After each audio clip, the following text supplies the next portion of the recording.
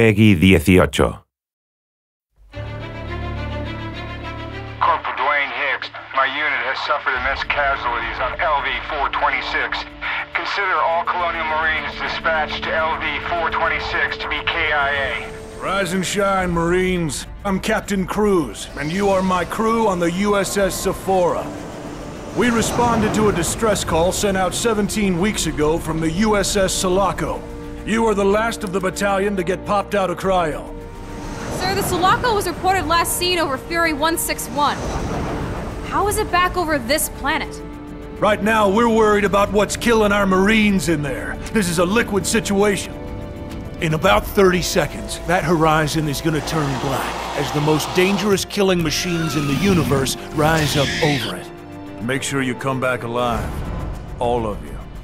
We're spread thin as it is. All ground units prepare for deployment. Here we go. There's more than a hundred Xenos heading right for Hadley's Hope.